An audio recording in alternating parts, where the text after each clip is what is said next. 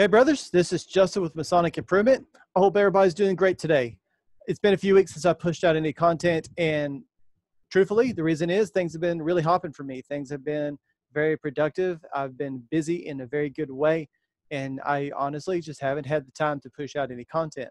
What that has given me time to do is really uh, stew on some things longer than I normally probably would before before talking about it, and I think that's been for everybody's benefit. I'm about to push out some content right now on this video. We're going to talk about some things that need to be talked about, things that frankly I've been putting off for a while.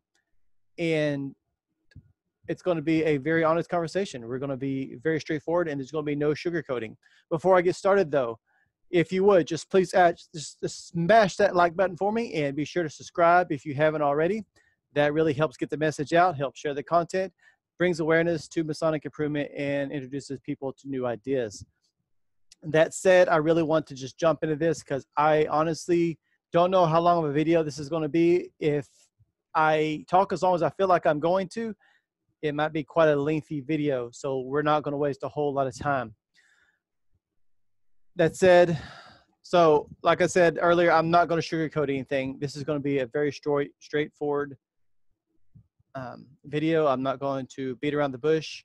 And the reason for that, well, normally when people are are straightforward and they just want to cut to the chase, is because they're angry about something. And I'm not I'm not angry about anything.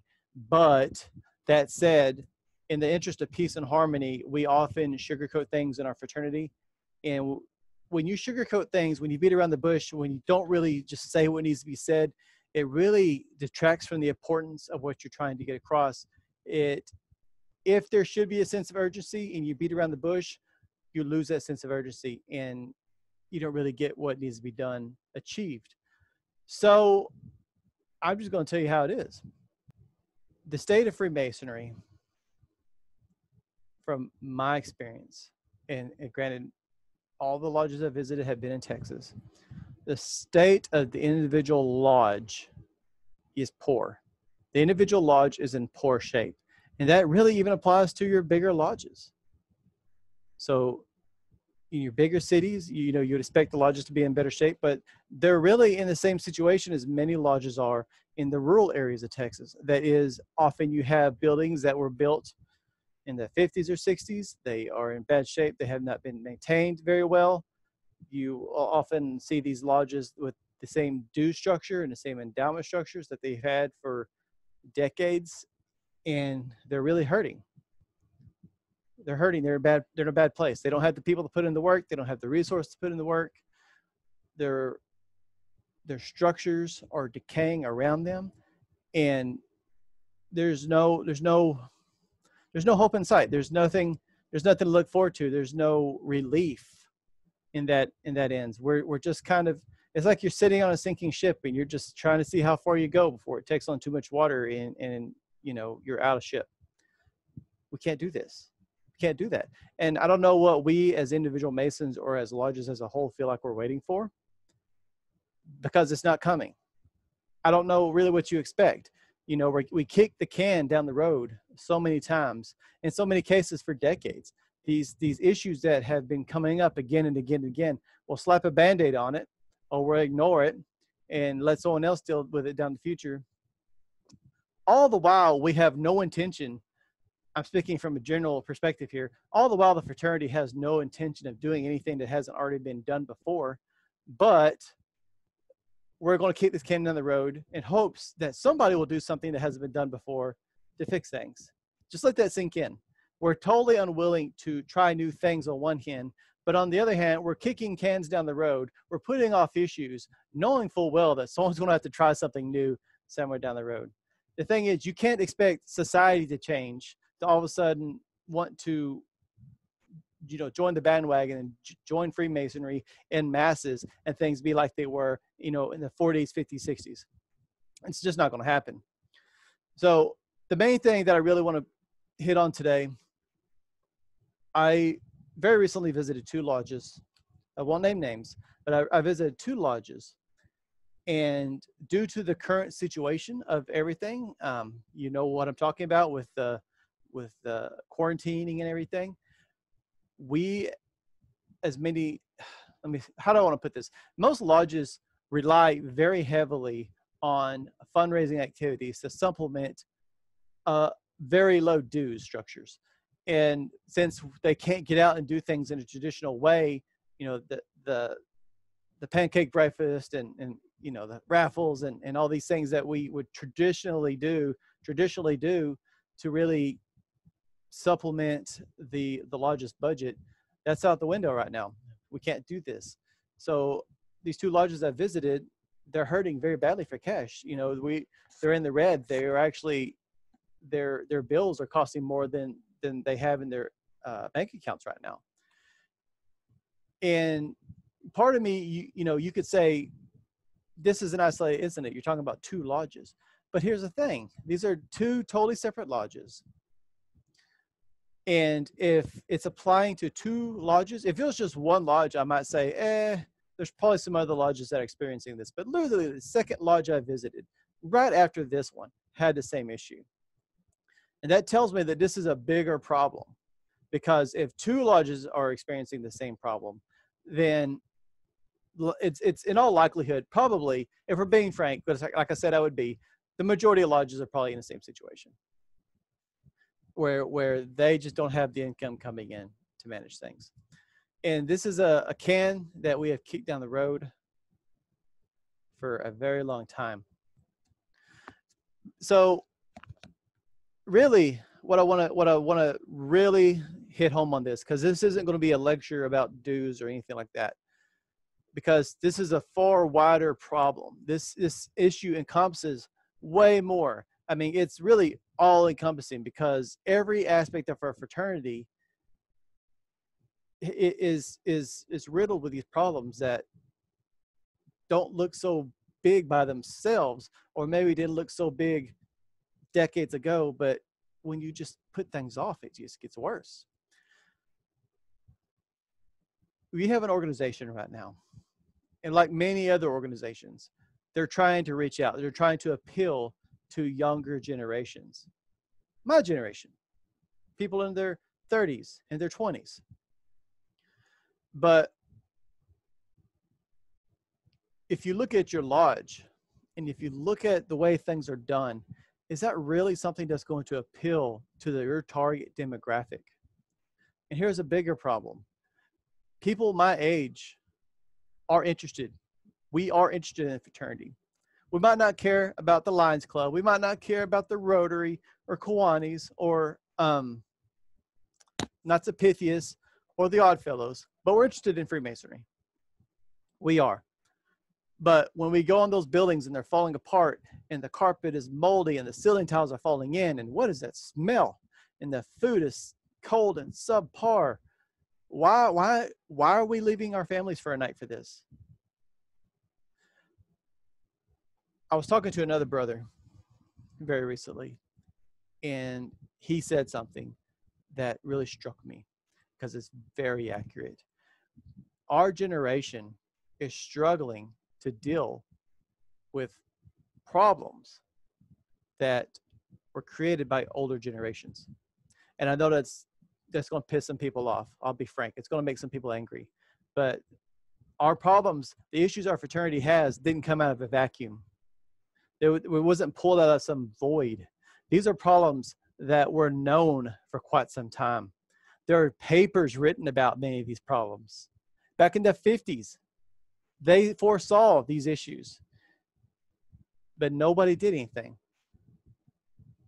So the older generations are expecting my generation to want to join a decaying lodge riddled with problems handed down to them from older generations. But to be fair, this is something we can do. We can handle this. I love fixing things. My generation loves to take ownership, but we can't take ownership. It's not being allowed. So, mm, so brothers have kept the lodges surviving, surviving, not thriving or growing or booming, but surviving for decades. Why? To hand it on to somebody else, to hand it off to somebody else. Let someone else you know, take ownership of this organization. Keep in mind that we've already established that many of these problems were being kicked down the road for future generations. But now future generations are here. We're ready. Where we see these problems, we acknowledge them. Many of them are glaring, but we can't do anything about it. We can't take ownership of it because it will not be relinquished to us. Now, I'm not coming in with some kind of entitlement mentality. I'm not saying just because a lodge is looking for a young guy and a young guy joins, they should just do anything he asks and hand anything to him. But this mentality of this is how we've always done things, so why should we do anything different is exactly what got us in a situation we're in now. And it is a situation. This unwillingness to adopt the C word is what got us where we are. The same policies and the same mentality and the same attitudes that our organization has had in the 40s and 50s and has refused to change in many cases will not get us past this century. We have we have to start embracing new ideas. We have to be willing to move forward. And I'm not talking about anything drastic. Nothing drastic at all. But a simple willingness to entertain new ideas and try things we haven't tried before. That's all it takes. The thing is, I know, for example, here in Texas, the uh, there's a there's a belief that that all degrees have to be cookie cutter and exactly the same. All lodges need to be more or less exactly the same, the same ritual, the same work.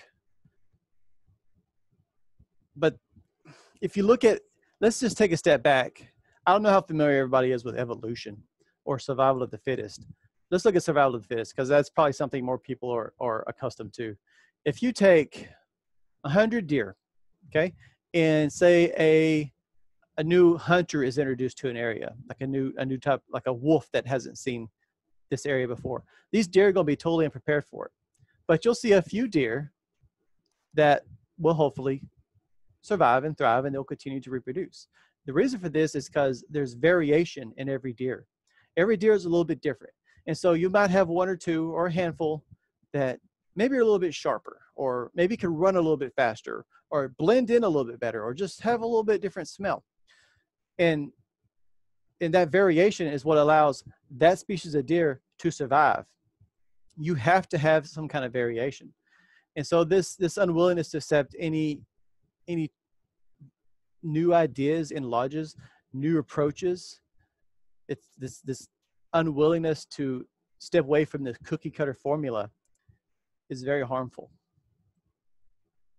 And if you look at many lodges, not just in the ritual, but their approach, it's a very cookie cutter approach. And what I mean is low dues, fundraising, low standards, let anybody in things I've talked about. And so it's all coming to a head, I think, right now because times are getting tough. Times are hard. And granted, it's it's it's an issue of lodge finance that really brought this to my I don't know. It's been it's been on my mind for a while, but but actually seeing now. And I don't like to be that guy that says I told you so, but I told you so. I covered this before. I talked about dues. I've said and basically what I said was if you don't have enough money, if your dues aren't high enough, that you're able to put a little bit on the side, something's going to come up eventually. You're going to wish you were able to. And now we're there. And I never wanted to be there. I never wanted to be able to say, I told you so, but we're at that point. And we need to start looking at everything. Everything. Because it doesn't matter if your lodge is doing fine financially, if you can't attract and retain people that you know if you can't fulfill what you promised when they came to your when they came to your lodge or when they approach you and ask for a petition if you promise that you're going to take them and make them a better man and all you do is talk about minutes and communications what did you really promise that guy?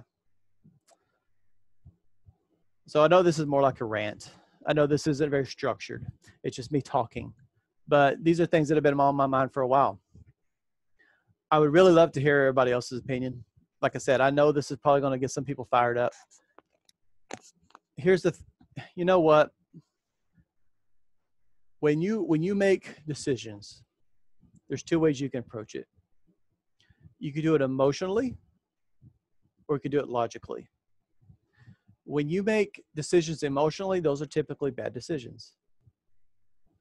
And we have, for a long time, made very emotional decisions.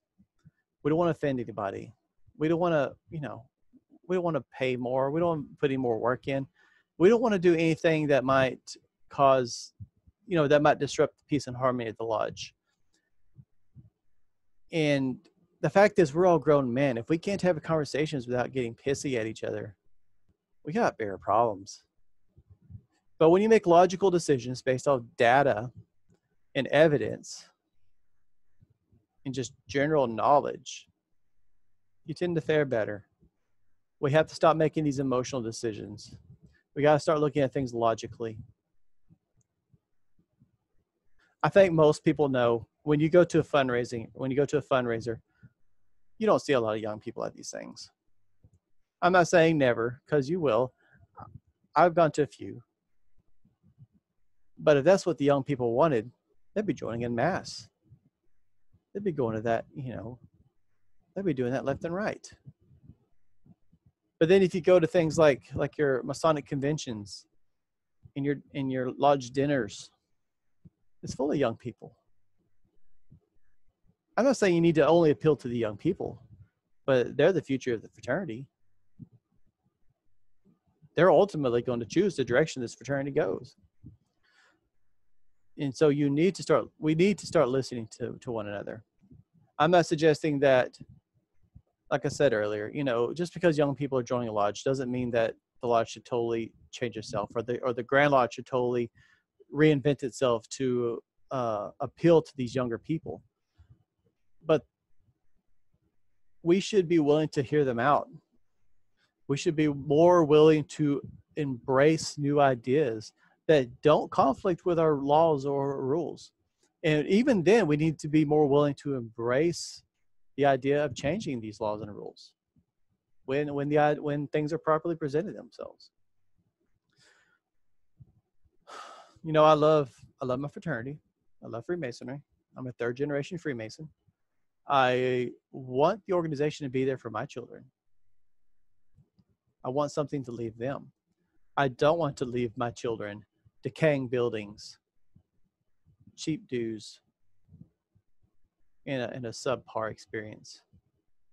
Because that's not Freemasonry. It's a shell of what Freemasonry should be. Anyway, I'm going to leave it there because I, whoa, I spoke for almost 20 minutes. So, um, you know, I just want to hear everybody's opinion. You agree or disagree? We we know we know we can't keep doing what we're doing. I think even those that would, you know, just adamantly disagree with my idea, with what I'm saying, I even believe that if you just hate every word that I've said, you have to agree on some level that we can't keep doing what we're doing for forever. Something has to change. And we could be proactive or we could be reactive. And if we're reactive, it might be too late. But we still have time to be proactive, in my opinion. Anyway, I'd love to hear what you guys' thoughts are. Again, please just slap that like button, subscribe if you haven't. I'll see you in the next video. Take care.